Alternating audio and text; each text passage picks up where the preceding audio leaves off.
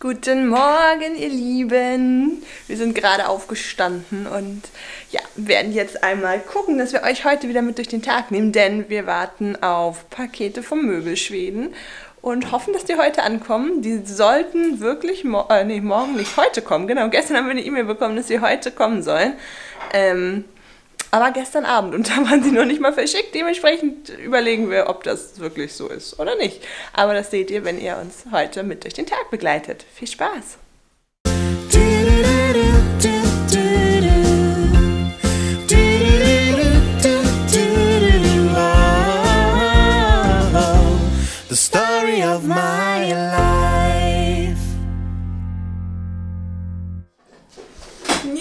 Gerade schon dabei, Frühstück zu machen. Das Pui Pui kommt von unserem Soda-Stream.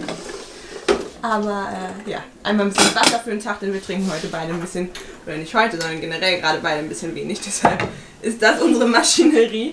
Äh, ja, ich habe sogar mittlerweile eine App, die kann ich euch nachher einmal zeigen. Die nennt sich mm, Trinkwasser. Und laut der soll ich am Tag 2,9 Liter trinken und versuche das auch gerade einzuhalten. Hier steht auch noch der Römertopf von gestern, ich warte, dass das Mehl wieder trocknet, damit man es leichter wieder rauskriegt.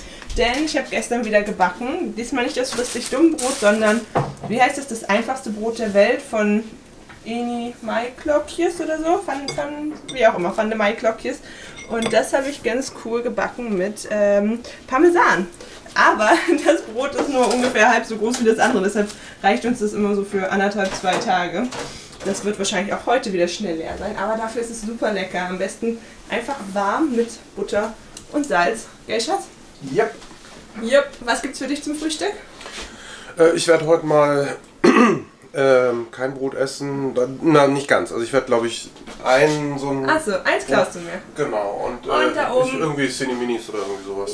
Cereals. Cheerios. Ja. Genau, ich habe immer hier oben so eine kleine äh, Armada stehen. Wir haben, glaube ich, gerade Cine Minis, wir haben diese Schokoschippchen, was haben wir noch? Smacks, ähm, äh, Fruit Loops, genau, und die verbastel ich hier und genau, in den anderen, das habe ich euch noch gar nicht gezeigt, in den anderen, ja, Blechdosen habe ich Zucker, Mehl, ähm, Soßen, so Dip-Soßen, die wir von McDonalds oder sowas früher immer noch über hatten, die habe ich da mit drin. Reis, ähm, Knödel, genau, alles so. Und äh, da oben sind noch die Vasen verstaut. Und worüber ich mich richtig freue, Nils hat es geschafft, vor zwei, drei Tagen die Küchenmaschine hier fest einzubauen, dass ich die nicht immer aus der Abstellkammer holen soll oder holen muss und sie gleich griffbereit habe. Das heißt, ich muss hier nachher nochmal ein bisschen Ordnung machen, den Rest weg vom Backen gestern, das habe ich nicht mehr geschafft. Und dann ist hier auch wieder ein bisschen mehr Ordnung. So sieht das fancy Frühstück eines YouTube-Stars aus. Weder noch. Ähm, ich habe dreimal Brot mit Butter und hier unter meinem Käse habe ich noch so geilen Feigensenf. Den gab es letzte Woche, vorletzte Woche bei Lidl. Der ist super lecker. Den haben wir schon dreimal jetzt gekauft und das ist das zweite Glas, was wir aufgemacht haben. Ein Kieber dazu und wir gucken eine Runde Netflix. Und zwar schauen wir Nailed It. Nailed It ist eine Backsendung. Ich habe die schon durchgeguckt. Es gibt, glaube ich, vier Staffeln plus die zusätzlichen Holiday-Staffeln. Und zwar ist es eigentlich eine Backshow, in der die Leute nicht backen können. Es treten immer drei Leute gegeneinander an in zwei Runden und es ist meistens eine Riesenkatastrophe, aber es ist super lustig und solche Fehler wie Backform nicht einfetten, Zucker und Salz verwechseln und was noch, ähm, ja, das, äh, ja, weiß ich nicht, die Creme schon drauf machen, während die Böden noch heiß sind. Das passiert denen quasi in jeder Folge und es ist so lustig, wenn man einfach sieht, wie die Sachen eigentlich aussehen sollen und wie sie dann zum Beispiel da oben am Ende aussehen. Das gibt's jetzt zum Frühstück dazu.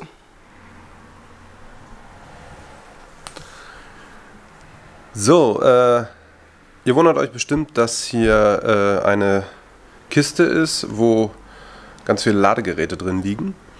Ähm, und eigentlich ist diese Kiste auch für was anderes. Naja, das kann man leider jetzt hier gerade nicht zeigen. Ähm, eigentlich ist da drin ein, wie nennt man das? Das ist äh, eine Monitorerhöhung, ähm, die ich gleich noch zusammenbauen muss. Ähm, aber weil der Karton für diese Monitorerhöhung eine ähm, ziemlich gute Größe hat, äh, ist mir eine Idee gekommen, die ich äh, euch kurz erklären werde. Und zwar ist es so, dass wir natürlich jetzt durch das ganze Vloggen ziemlich viele Ladegeräte brauchen. Für verschiedene Kameras, für Softboxen, für alles Mögliche. Und ähm, ja, wir haben die Ladegeräte immer irgendwo rumliegen, rumfliegen. Und ich hatte die Idee, dass man das vielleicht äh, sammeln könnte in einem schönen Aluminiumkoffer. Da noch eine Steckdosenleiste mit einbaut und ähm, dann die Ladegeräte alle an einem Ort hat und dann natürlich auch immer wegtragen kann, wenn sie irgendwie stören oder wenn man sie nicht mehr im Bild haben möchte oder nicht mehr in der Wohnung dastehen haben möchte, wo sie gerade stehen. Und äh, wie ich gerade schon sagte, hat dieser Karton ziemlich coole Maße, ähm, die ich glaube ganz gut dafür nutzen kann. Und deswegen werde ich jetzt diesen Karton mal ausmessen und werde später gucken, ob ich irgendwo online äh, einen Koffer kriege, der ungefähr diese Maße hat, um dann nachher die Ladegeräte mit beidseitigem Klettband, damit man die auch wieder rausnehmen kann, äh, darin einzubauen. Ja, das ist zumindest die Idee. Ähm, falls euch das interessiert, kann ich das auch gerne nochmal zeigen, wenn ich es dann irgendwann baue. Nur jetzt sind erstmal die Vorbereitungen. Ich messe erstmal einfach den Karton aus und schaue, ob ich etwas finde, was in der Größe ist.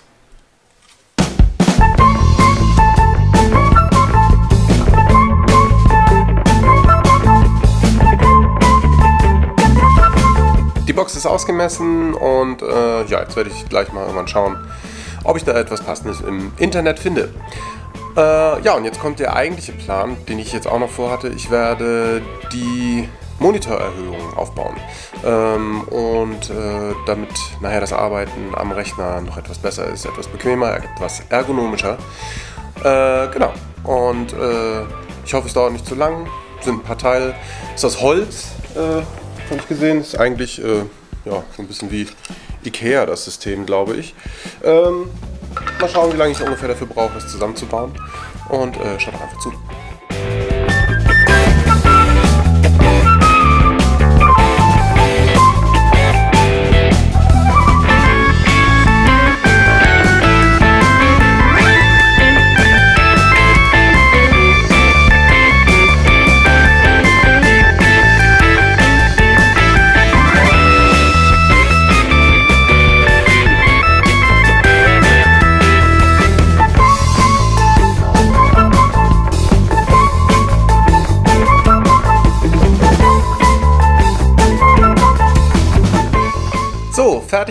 Fertig ist das gute Stück. Ähm, ging echt schnell. Ich glaube, irgendwie eine Viertelstunde war das ungefähr. Maximal. Ähm, ja, äh, sieht sehr stabil aus. Äh, ich bin sehr gespannt. Ich werde es gleich aufbauen und kann es dann euch auch nochmal zeigen. Aber jetzt einmal der Rohzustand. Sieht so aus.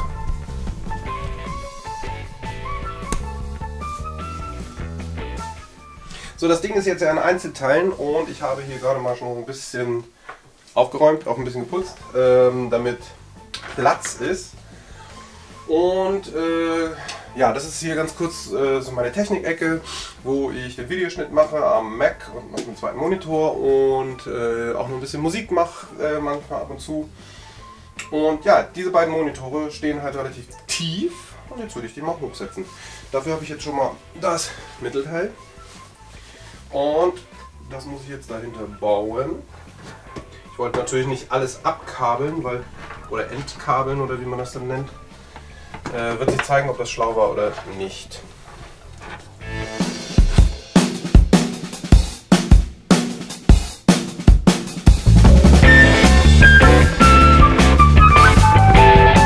Das sieht doch schon mal ganz gut aus. Ähm, ja, ob das jetzt die richtige Höhe ist und die richtige Einstellung, alles, äh, das mache ich gleich in Ruhe. Im Endeffekt, so soll es aussehen. Kommt noch Tastatur davor, mein kleines Keyboard, mit dem ich ab und zu noch ein bisschen Tönchen einspiele. Ja, aber ich finde es schick.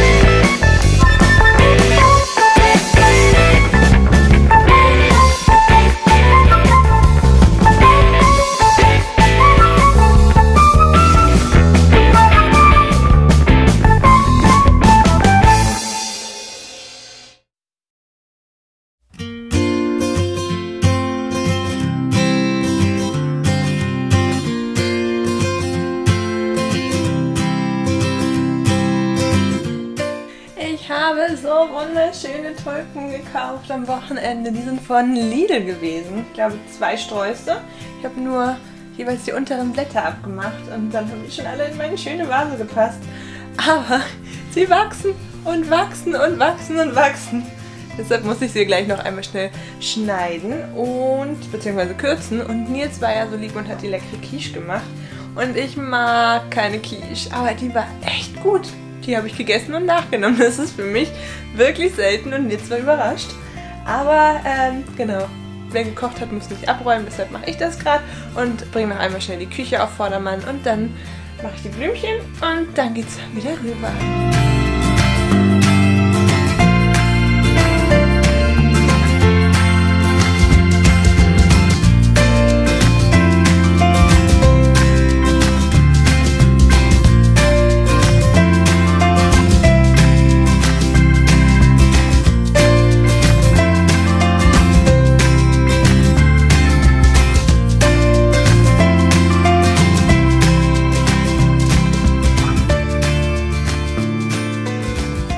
Meine Tülpchen sind fertig.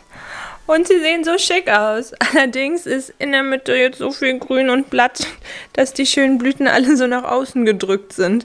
Ich muss mal gucken, vielleicht entferne ich doch nochmal wieder ein, zwei Blätter. Spätestens beim nächsten Schneiden, dann übermorgen. Aber bis dahin sind die voll schön und Nils ist da oben am Daddeln. Aber hier sind noch meine schönen Krü, Krü, Krüsan-Dings da wie heißen die? Chrysanthemmen. Wie auch immer. Jedenfalls sind die total hübsch. Die sind eigentlich so ein schönes dunkellila. Das will die Kamera gerade nicht. Und ich habe sie zusätzlich auch nochmal hier in diese kleinen äh, Vasen von Depot mit reingemacht, weil ich dafür noch nichts hatte. Und in die Vase hier Warum auch immer wir jetzt Streifen an der Wand haben. Äh, in die Vase hier habe ich das Pampasgras gemacht, was die Woche angekommen ist, oder letzte Woche sogar schon.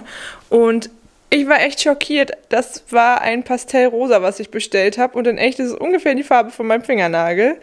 Ähm, aber die sind jetzt nochmal eine ganze Ecke aufgegangen, dadurch, dass sie natürlich so eng beieinander waren, vorher so eng gebunden. Damit sind sie ein bisschen blasser geworden. Aber Pastellrosa ist das äh, immer noch nicht, würde ich sagen. Ich mag es trotzdem.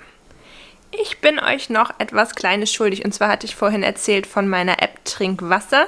Es ist keine Werbung, keine bezahlte Kooperation. Es ist nur etwas, was mir gerade hilft, mehr zu trinken. Und ich habe eben dran gedacht, weil ich nämlich gerade eine Push-Up-Benachrichtigung bekommen habe, wie viel und was ich trinken soll. Ähm, genau, es ist jetzt 19.30 also 19.30 Uhr, deshalb ähm, steht das ja alles mit Uhrzeit. Ich soll das nächste Mal, also jetzt sollte ich eigentlich 900 Milliliter Wasser trinken, weil ich vorher nichts getrunken habe und dann um 21 Uhr nochmal 500 Milliliter und so weiter. Und zwar ist das eine App. Ihr könnt ganz am Anfang, wenn ihr euch dort anmeldet, das ist eine kostenlose App, könnt ihr ein Profil anlegen. In dem Profil steht dann drin ähm, euer Geschlecht, euer Gewicht, Größe und dann das Tagesziel, wie viel man trinken soll. Dann kann man noch zusätzlich angeben, ob man besonders aktiv ist und Sport macht ähm, wie ging das denn? Ich glaube auf Bearbeiten. Genau, also ob man noch Sport macht, das machen wir ja gerade. Deshalb hat er mir da nochmal 500 Milliliter Wasser mehr draufgerechnet, die ich trinken soll. Ob man schwanger oder stillend ist als Frau oder ob man aus sonstigen Gründen nochmal mehr trinken sollte. Das kann man alles ankreuzen. Dann gibt es nochmal die Möglichkeit, das vom Wetter abhängig zu machen. Das habe ich auch angegeben. Sprich, an heißen Tagen soll ich dann nachher mehr trinken als an äh, kalten Tagen, um das natürlich zu kompensieren. Dann kann man seine Push-Benachrichtigungen an- und ausstellen. Was ich halt ganz cool finde, ist, es sind, na, ich will nicht ganz so hoch, ich will dahin auf das Plus. Es sind ein paar voreingestellte Getränke mit in der App. Man könnte eine Bezahlversion kaufen und wird auch keine Werbung eingeblendet, aber wir machen das jetzt so. Ähm, ihr könnt angeben, was ihr trinkt, sprich, ob ihr Wasser trinkt, Kaffee, Tee, Süßgetränk, Saft, Milch, was isotonisches, Bier, Wein, was auch immer. Ähm, bei den Getränken, die kein Wasser sind, rechnet er euch dann auch nur Prozente an und nicht das komplette, ähm, die komplette Menge an Getränk oder das komplette Volumen. Das heißt, wenn ihr zum Beispiel harten Alkohol trinkt, der euch Wasser entzieht, wird er euch dafür natürlich nichts anrechnen, deshalb 0%. Beim Wein, weil er nicht so viel entzieht, würde er euch 50% anrechnen und, und, und. Bei mir ist es aber eigentlich eh immer nur Wasser, was ich trinke. Äh, morgens mein Saft und Tee. Das heißt, hier sind auch schon so voreingestellte Getränke von der Milliliteranzahl. Aber ich habe auch, wie ihr seht, hier oben noch einmal ein Getränk selber erstellt, weil unsere SodaStream-Flaschen nämlich 700 Milliliter haben. Und wenn ich die einmal schnell austrinke, dass ich das dann gleich ja, vereinen kann. Dann habt ihr hier die Übersicht, wie viel ihr über den Tag schon getrunken habt, sprich ähm, erstmal prozentual, wie viel ihr insgesamt schon habt und aber auch aufgeteilt in den Farben, grün ist wieder Saft, blaues Wasser, rot ist Tee, wie eben auch schon und dann seht ihr, was ihr an welchen Anteilen getrunken habt. Und es fällt mir gerade leichter damit zu trinken, weil ich zu wenig trinke, als äh, wenn ich es halt komplett alleine dran denken müsste. Und dann habt ihr auch noch die Tagesanzeige wo nochmal genau aufgelistet ist, zu welcher Uhrzeit ihr wann was getrunken habt. Ich habe natürlich nicht um 15 Uhr gefrühstückt, ich habe es natürlich einfach vorher vergessen. Ich könnte allerdings auch über Bearbeiten nochmal die andere Uhrzeit einstellen von heute früh. Habe ich jetzt aber keine Lust, weil es für mich nicht so wichtig ist. Für mich ist es wichtig, dass ich die Menge über den Tag hinkriege. Genau. Und das ist die App Trinkwasser. Wie ihr ja bestimmt auch alle wisst, gibt es jetzt ja das Maskengesetz ähm, in Deutschland, dieses bundesweite Gesichtsmaskengesetz. Vorgabe, wie auch immer wir es nennen wollen. Jedenfalls haben Nils und ich noch keine Gesichtsmaske und äh, deshalb wollte ich jetzt mal auf Etsy gucken, ob wir da irgendwie was finden, was uns gefällt. Ähm, wir haben bisher ja noch keine gebraucht und hatten deshalb noch keine, aber jetzt dachte ich, ist es vielleicht doch mal an der Zeit. Deshalb wollte ich mal schauen, ob ich irgendwas finden kann. Ihr könnt mir ja schon mal schreiben, was ihr für eine nutzt oder ob ihr, na, will er nicht. Oder ob ihr äh, gar keine Maske nehmt, sondern stattdessen mit einem Schal rausgeht. Das war nämlich auch erst unser Gedanke. Oder ob ihr doch was habt. Ich wollte gerne irgendwas Hübsches. Also sprich nicht schwarz. Ich wollte gerne irgendwas, was nicht heißt, dass schwarz nicht hübsch ist. Ich wollte nur irgendwas, wenn dann auffälligeres haben. Das ist ja auch süß mit, ähm, hier, wie heißen die? Mit kleinen Faultieren. Das finde ich schon mal ganz cool. Das speichere ich mir schon mal. Mal gucken. Jetzt wollte ich irgendwie gucken, ob ich was mit Totenköpfen kriege. Schatz, was meinst du? Ist das was für dich? Ja, zum Beispiel. Zum Beispiel, okay. Ich habe auch keine Ahnung, ob es da irgendwelche Größen gibt. Doch, das finde ich auch ganz niedlich. Da sind auch schon irgendwelche Bewertungen drauf. Genau, ich werde jetzt hier mal ein bisschen stöbern. Der hier ist ja auch der Hammer. Aber ich glaube nicht, dass es der wird. Genau, ihr könnt ja mal wirklich erzählen, was ihr denn habt. Oder lieber so eine Kuh. Kuh ist auch cool. Kuh wie cool. Ja, ich weiß auch nicht, ob wir gleich zwei bestellen sollten pro Person, dass man irgendwie so ein bisschen wechseln kann, weil äh, man sollte ja auch zweimal am Tag waschen und kochen. Ähm, dann ist natürlich auch immer irgendwie was in der Wäsche und dass man dann schnellstmöglich das nächste hat. Hier habe ich nochmal irgendwelche Totenköpfe. Ich glaube aber nicht, dass die was für ihn sind. Ähm, mal schauen. Ich werde da jetzt mal was suchen und wenn ich was gefunden habe, dann zeige ich euch meine Ausbeute. Wir wollten ja jetzt eigentlich bestellen, die Masken, aber wir haben uns dagegen entschieden, denn wir haben gesagt, entweder auffallen, dann mit Masken, die wir richtig cool finden, für einen bezahlbaren Preis, oder aber wir können eine günstige kaufen, die es überall gibt, ähm, und sind dann einfach quasi Teil der Masse.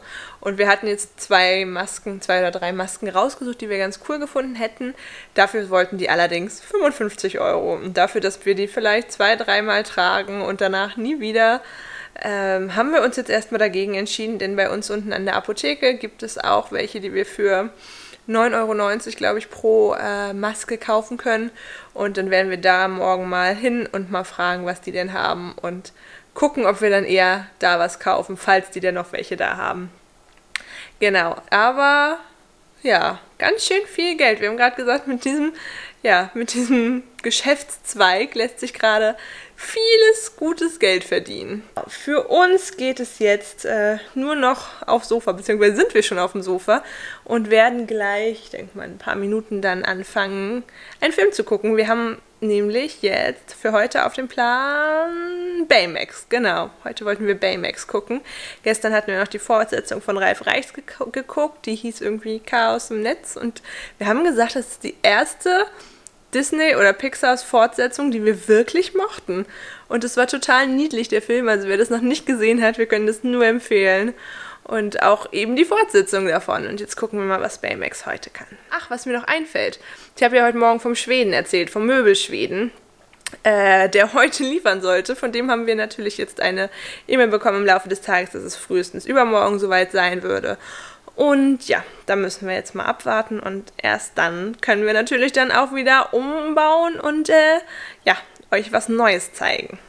Aber bis dahin sehen wir uns bestimmt nochmal zwischendrin wieder. Und ich würde sagen, bis dann. Ciao, ciao.